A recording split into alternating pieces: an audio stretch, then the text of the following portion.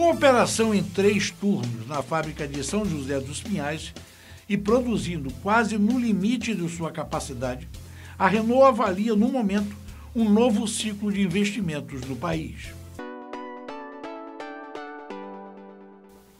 A empresa registra crescimento de 18% nas vendas este ano, ante a média de 8% de expansão do mercado de automóveis e comerciais leves e quer continuar ganhando participação neste e nos próximos anos.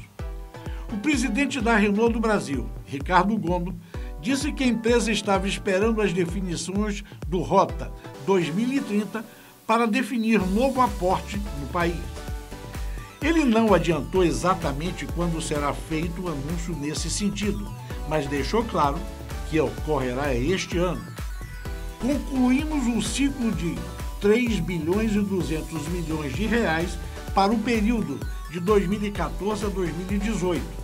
Fábrica do Paraná está operando praticamente no limite e para crescer é preciso investir.